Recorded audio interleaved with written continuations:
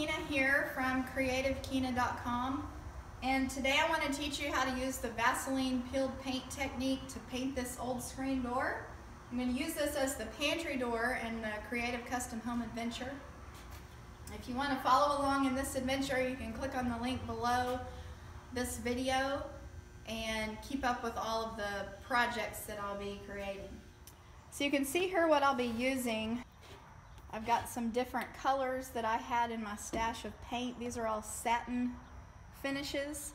I've got two colors of turquoise here and I'll be using clear satin fast drying polyurethane. I've got some popsicle sticks to mix. What I want to do is use a dull or turquoise for the top coat, but I would like a brighter color showing through for the undertones.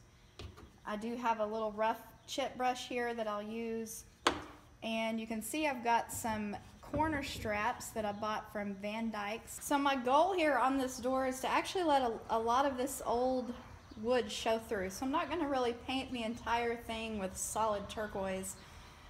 The effect I'm going for is I want it to look like it's been painted several times over the years and it's just kind of not really dirty but just aged and uh, with a nice patina on it. So what I want to do here is mix a lighter version of this color. This color turquoise and I'm going to use some of this lime green and kind of see what color I get. I just want it to be visually brighter than this color right here. So this will be the top coat. This is just satin interior house paint. It's been setting a while, so I'm gonna mix this up a little bit. This is actually a sample and if you're doing a small project, I suggest just getting the store to mix a sample for you. That way you can get away with buying less paint. And you can afford to experiment with more colors going that route.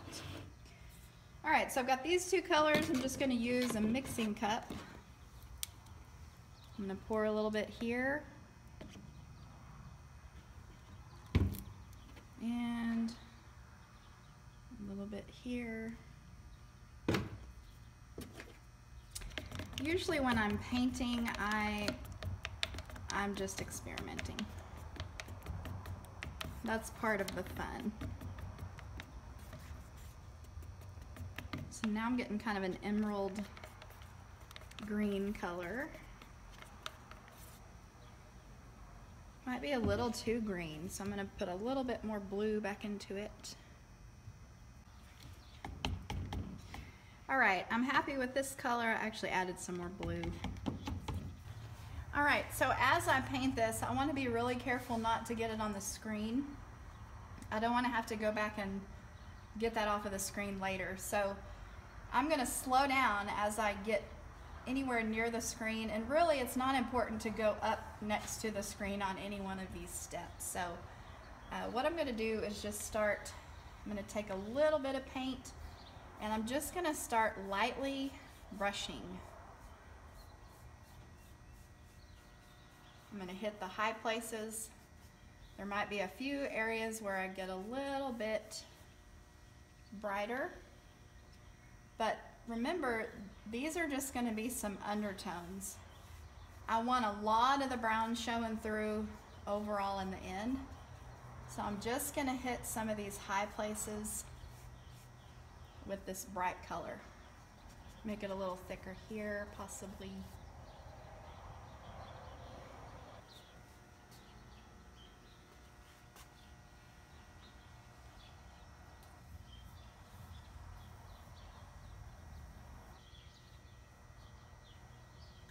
Again, I just want to go really slow up next to the screen. I don't want to create more work for myself later. And if you feel like it, you can tape it off. If you feel like you might accidentally get some on there.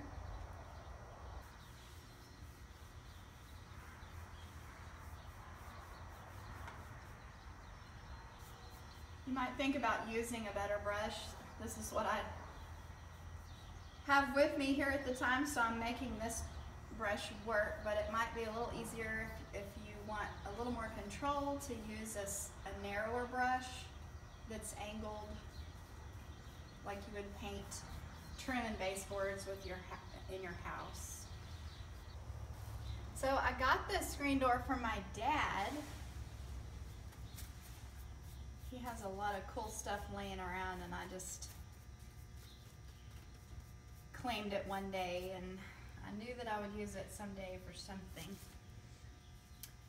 I have another door that I'll use with similar techniques that I'm going to use for the office nook door and that's going to be a barn slider door. All right, so I'm going to take a little bit of a walk on the wild side and I'm going to put some lime green on this door.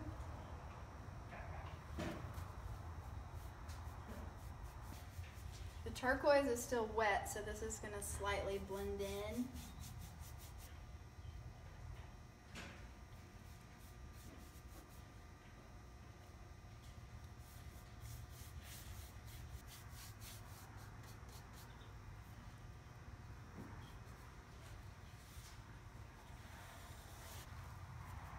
So all of these undertones will show through on the top coat color.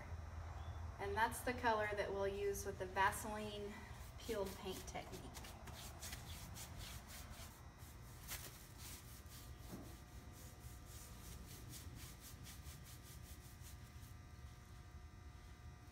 All right, so we have the two colors here and the next step will be to take a palm sander to it and rough it up a little bit and then we'll clear coat it and after that will be the peeled paint with Vaseline.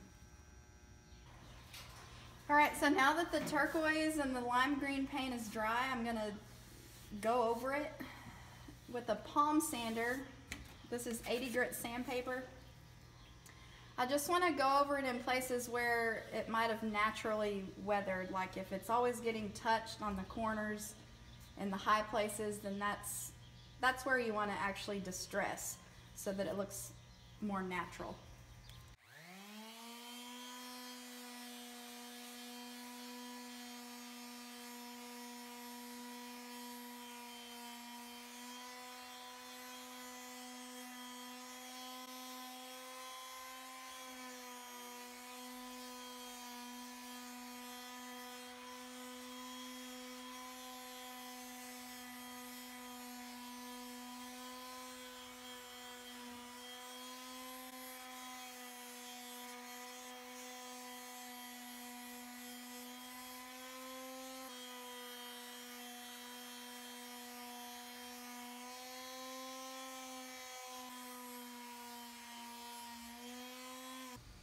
All right, so you can see after it's been sanded, we have some more of the natural wood showing through.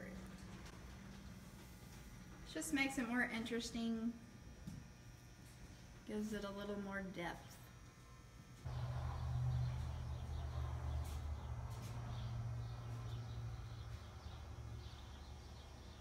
All right, so for the next step, we'll need fast drying satin polyurethane. Whenever you buy a new can of polyurethane, you want to make sure you mix it really well because the sticky stuff caught up on the bottom. All right, so now I'm just going to apply a generous coat of polyurethane.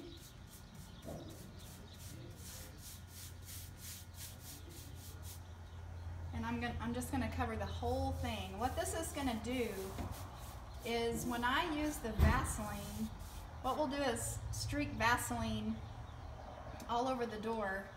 And what the polyurethane will do is make it to where the Vaseline cannot soak into the wood.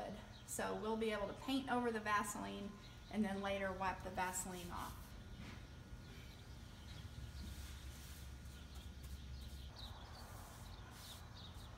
Where I talked about repairing the door, I brushed and cleaned off the mold.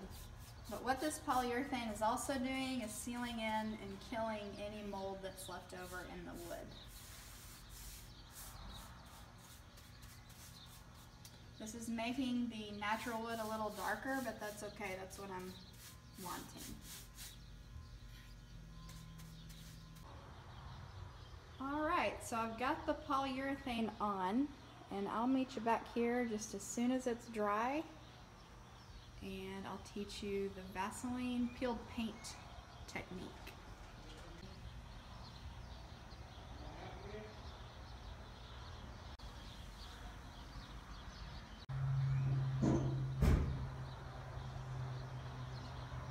Alright, so I'm back here now I'm going to teach you how to do the Vaseline peeled paint technique. You can use this on all kinds of furniture, mixed media art, all different kinds of stuff with the same technique. So you're going to need Vaseline or petroleum jelly as it's called, baby wipes, paper towels, water, and then your paint color. I'm using interior satin paint. I've got a color here that's called Radiant Teal Velveteen. It's a really bright turquoise and then I'm actually going to lighten it up. I mentioned earlier in the video that I wanted to use a dull color for the top coat, but I'm always changing my mind and I figured that I'll use a brighter color for the top coat. So what you're gonna do first is you're gonna take your fingers wherever you put the Vaseline, the bottom paint is going to show through. So if you want a lot of the bottom paint showing through, then you're going to want to put a lot of Vaseline. So what I do is I just stick four fingers in and I'm going to start dragging the Vaseline across the surface like this. I'm going to go in the direction of the paint. If I want a lot of that brown color showing through, then I'm going to make sure that I cover that part in Vaseline. And really you don't have to think about it too much. You want to make sure that this is sanded fairly smooth before you do this. You can see how you could get some splinters using this method.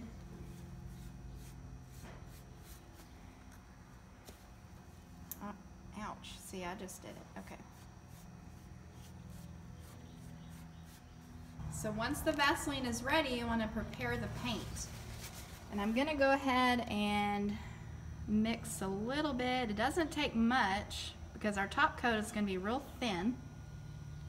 And I'm going to add just a little bit of white at a time to try to lighten this color up. So I'm to mix this and see what it does first. It's just, I just want it to be slightly lighter than the main turquoise color.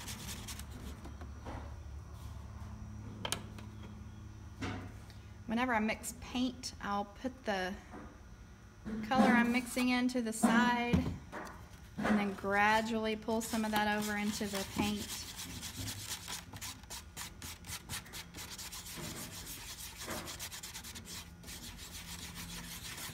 All right. I think I'm liking that. Let's look at it. Okay, so it's a pretty bright turquoise color. Take my chances here. All right, so the next thing I want to do, I don't want a chance getting way too much white in it. So I'm going to go ahead and get this white paint off of here. It's going to make a mess. I'm really good at making messes. Okay, so what you're gonna want is a thin, soupy consistency. So I'm gonna pour a little bit of water. Go ahead and mix this up. You want it to where when you pick it up on the brush, it'll drip slightly. So let's test it out. I'm going to pick it up if I can. It's not coming off very easily, but I'm going to go ahead and just add a tiny bit more water, just a touch.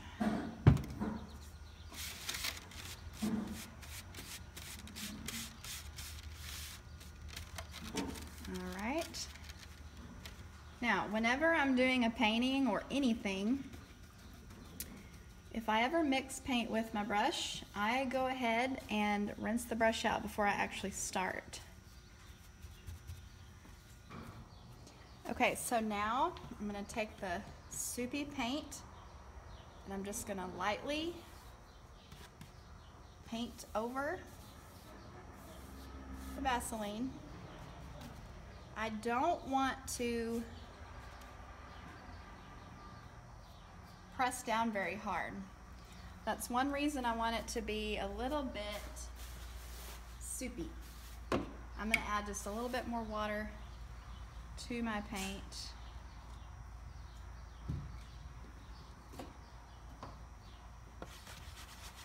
Also be kind of cool if I get some drips and splatters. What do you think, Ryder? Do you like it? Yeah, but Mama, Mama, I had my purple watch a long time ago.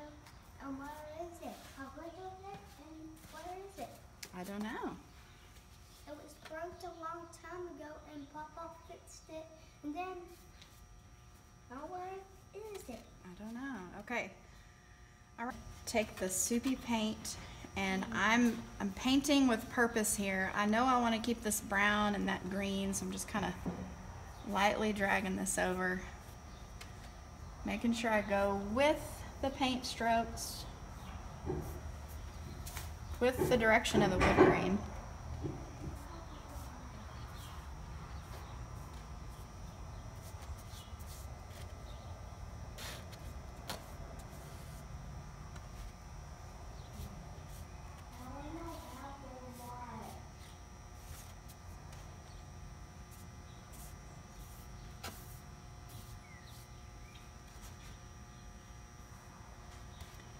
You can put a little thicker in some areas if you want.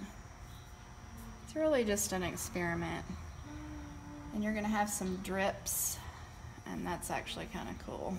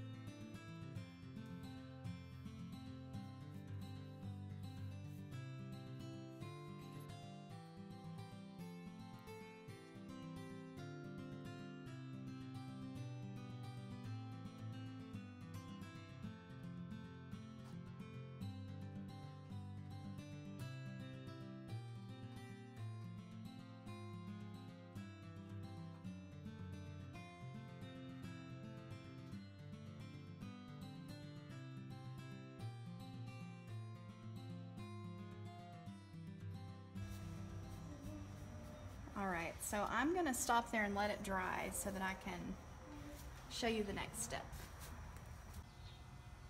Okay, so now I have all of the turquoise on and you can see it's starting to separate wherever the Vaseline is. So you want that to completely dry. Depending on the weather, if it's real hot, it might dry pretty fast, but I would wait a few hours or even until the next day.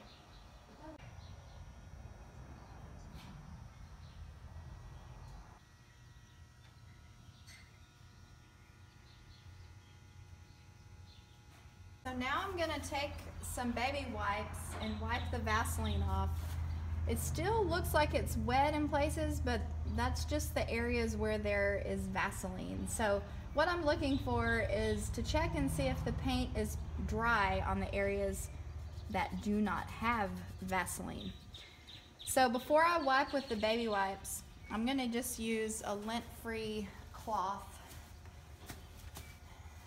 I know they sell those blue paper towels that are shop towels and those are lint-free. This is just an old t-shirt rag. And so the purpose of the baby wipes is to cut through the grease. Before I do that, I'm just gonna get most of the Vaseline off. And this is kind of a lengthy process.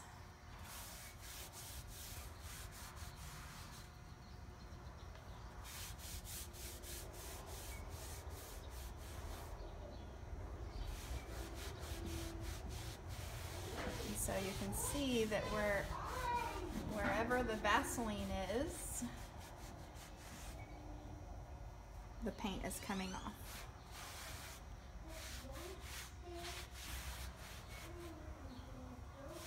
So once you feel like you get the Vaseline off mostly, then you'll go back with the baby wipes and you'll just wipe and you know, it'll cut through the grease and get most of the grease off. Right, so you can see here that I've got a nice peeled paint look. Bob, kitty kitty. You did a good job on this door. Good job, kitty cat. Way to cheer me on.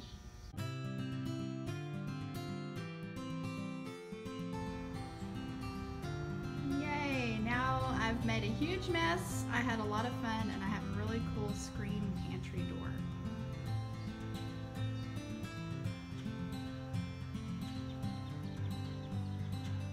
Put the corner straps on. I'll have a nice contrast of the black metal. So if you like this video, share it with your friends. Check out the links below in the text and thanks for watching.